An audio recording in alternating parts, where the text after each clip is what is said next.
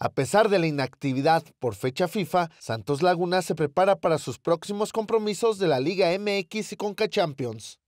El viernes 29 de marzo buscará los tres puntos en su visita ante el Atlas en juego de la jornada 12 del Clausura 2019. Asimismo, el miércoles 3 de abril se medirá ante Tigres en el Estadio Universitario. Los dirigidos por Salvador Reyes Jr. se encuentran en la posición 10 con 15 puntos, por lo que una victoria ante los rojinegros los mantendrían en la lucha por los puestos de liguilla. ¿Sufre de algún dolor? Siéntase mejor. Bolitas de gel y cerámica que mantienen una temperatura óptima para un alivio más prolongado. Alivia dolor y ayuda a la recuperación muscular. Además, reduce hinchazón y la inflamación.